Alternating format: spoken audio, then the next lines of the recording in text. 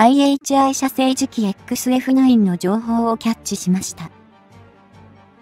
今回は、この時期 XF9 エンジンを詳しく見ていきますね。F3 戦闘機開発は急がれるが、その次の F5 戦闘機開発は、純国産でできそうです。もしかすると、横浜のガンダムが動き出すかもしれませんね。今実験中です。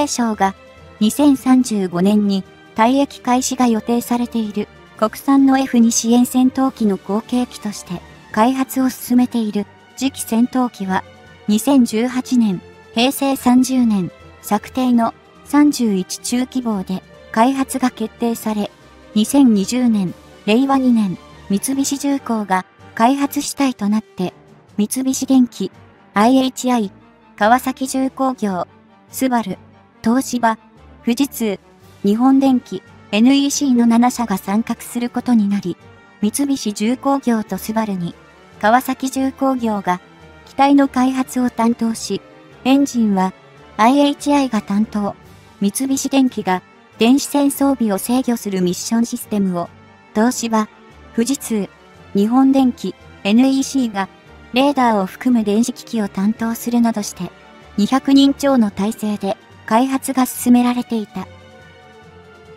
そして、2022年、令和4年12月9日、日本、イギリス、イタリアは、グローバル戦闘航空プログラム GCAP プロジェクトとして、日本の次期戦闘機開発計画とイギリス、イタリア、スウェーデンが共同開発を進めていた BAE システムズテンペスト開発計画を統合し、次世代戦闘機を共同開発することを発表した2023年3月時点で、スウェーデンは不参加。日本では、次期戦闘機開発計画と同じく、三菱重工が主契約者となって、機体、IHI がエンジン、三菱電機が電子機器を担当することになり、イギリスは BAE システムズが機体、ロールスロイスがエンジン、レオナルド S、PA のイギリス法人が電子機器を担当し、イタリアからは、レオナルド、SPA とアビオエアロが開発に参加して、ミサイル開発には MBDA も参加することとなった。このプロジェクトによって、2024年頃までに各社の詳細な開発内容や費用負担を明確にした上で、2030年頃の生産開始を目標として、2035年に初号機が配備される予定とされている。この時期戦闘機のエンジン開発については、今後、イギリスのロールスロイスと日本の IHI のそれぞれが開発した技術を持ち寄り、330億円をかけて、新たな実証エンジンを製作することで合意していて、共通のエンジンが完成すれば、テンペストと次期戦闘機の両戦闘機の開発費については、数千億円もの巨額な経費節減が可能になると見られている。そのエンジン開発の基本となる技術は、ロールス・ロイス側で開発を進めてきた、将来戦闘航空システム技術構想、FCAS、TI、フューチャー、コンバット、エアー、システム、テクノロジー、イニティアティベト、IHI がプロトタイプを製作した先進実証エンジン、XF9、1である。ロールス・ロイスでは、まだ実証エンジンの製作には至っていないが、IHI が独自に開発を進めた XF91 は、純国産のジェットエンジンとして、2018年6月にプロトタイプが完成しており、防衛整備庁航空整備研究所に納入されて、性能試験が実施された。XF9、1エンジン開発のコンセプトは、スリム化と大出力の追求であるが、これは、このエンジンが搭載される次期戦闘機のステルス性能を向上させるために、ミサイルなどの並走を、機体のウェポンベイに格納することや燃料搭載量を増やすために、機体内の燃料格納容積を確保する必要があり、大出力でありながらかつ、スリムでコンパクトなエンジンを搭載することが求められたためである。このコンセプトは、テンペストもまた同様であり、両戦闘機のエンジンに関わる要件は、まだ統一されていないものの、両戦闘機とも、ステルス性能を高めることが求められるほか、大出力とするのは、推力を稼ぐだけではなく、高度なアビオニクスを支える、高性能な電子機器の大きな電力消費を支える電力供給源として、空飛ぶパワーステーション、 power station in the sky であるべきとの考えに基づいている。IHI が提供する XF9、1のプロトタイプのサイズは、アメリカ空軍の F15 イーグルに搭載されているプラットホイットニー社製の F100 エンジンとほぼ同じサイズでありながら、水力は最大で15トンを発揮することが試験で確認されていて、これは米空軍の主力戦闘機である第5世代ステルス戦闘機 F22 ラプターに搭載されている同軸プラットホイットニー社製の F119 エンジンと並ぶ出力である。また、F119 とのサイズを比較すると、F119 が全長5.16メートル、直径が1.168メートルであるのに対して、XF9、1は全長4.8メートル、直径1メートルであり、いかに XF9、1がかなりコンパクトなサイズに仕上がっていることがわかる。この XF9、1のサイズと性能については、アメリカやイギリスのエンジニアの間で驚きとして受け止められていて、今回の共同開発の話が短期間に進められたのは、日本側が XF9、1のプロトタイプを完成させていたことが大きいと言われている。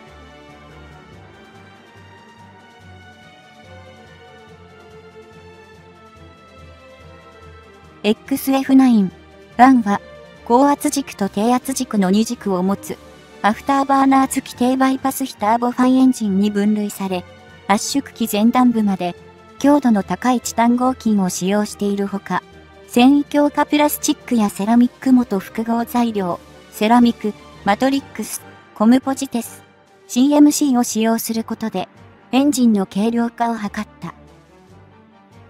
さらに、タービン部についても、CMC、や耐熱性の高い先進金属材料を用いることによって、少ない冷却空気流量でも、エンジンが必要な水力を発揮できるよう設計されていて、ステルス性能に大きな影響を与えるテークダクトの流路断面積の低減や、ダクト長の短縮に貢献している。コア部分には、高圧軸として、コンプレッサー6段とタービン1段があり、この迷子に、ファン3段とタービン1段の低圧軸がある。そして、その後部には、アフターバーナーと推力偏向ノズルが装着され、機体の機動性向上が図られ、コア駆動ギアボックスには、大電力を発電するスタータージェネレーターが装着されている。タービン入り口温度は1800度 C に達するとされ、この1800度 C という温度は、ニッケル系超合金の U.1400 度 C を大幅に超えるもので、ジェットエンジンにおいては、この温度が高いほど、高性能なエンジンとされ、XF9、1のタービン入り口温度は、世界的に見てもトップクラスと言える。これには、ニッケルコバルト元の国産の4性単造ディスク材を用いた高圧タービンディスクや、国産第5世代ニッケル単結晶超合金製タービンブレード、タービン部への新素材 CMC、セラミック元複合材料の使用、耐環境性コーティングが採用されたこと、さらには、ブレードの空気口による保護層の形成などの材料技術と流体解析技術の流用が大きく貢献している。XF91 とロールスロイスが開発を進めているテンペスト用のエンジンは、共にアダプタイブ、サイクル、エンジン、アダプテイブサイクルエンジンであるが、これは離陸時、上昇時、巡航時、戦闘時などの飛行条件に合わせてエンジン内をバイパスする空気流を3段階変更することで、バイパス比とファン圧力の比を調整するエンジンのことで、これにより、エンジンの推進効率と燃費の向上が期待され、さらに、外側の3層目の空気流によって冷却能力が向上して、エンジンの熱管理が容易になる。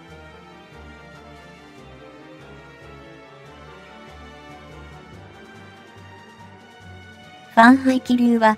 巡航時には、コアケース外側のダクトを流れ、高速時には、コア内に排気流を導いて、水力増加に利用し、外周の複数のダクトは、ファン出口からの3層目の空気流を流し、水力を得るとともに、エンジンを含む各所の冷却に使われる仕組みだ。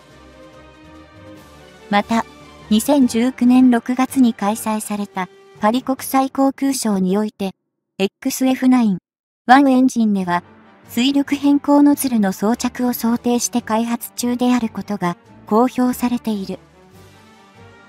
XF9、1においては、2016年度から2020年度まで、水力変更ノズルを装着して使用した場合の高運動性、ステルス性の確保などを目的に、水力変更ノズルに関する研究が実施された。この水力変更ノズルとは、ジェットエンジンやロケットエンジンにおいて、飛行中に噴流の向きを変えて水力方向を変えることによって、飛行中の軌道に変化をもたらす装置であり、垂直離着陸が可能な V トール機には必須の装置で、古くはハリアー戦闘機に装着されていて、現在ではアメリカ製の垂直着陸、短距離離陸、ストーブル機である F35B、ライトニングに、に使われており、この装置の装着が実現すれば、次期戦闘機において F35 のように通常離陸型だけでなくストーブル機も開発される可能性を秘めている。ここまでにおいて、RR の FCAS、TI は未完だが、同社のエンジン開発における技術力や実績は定評があり、IHI の XF9、1は実証エンジンが完成している強みがある。この両者の協力により、アメリカが開発中の次世代戦闘機用エンジン XA100 や XA101 に勝るとも劣らないエンジンの登場が期待されている。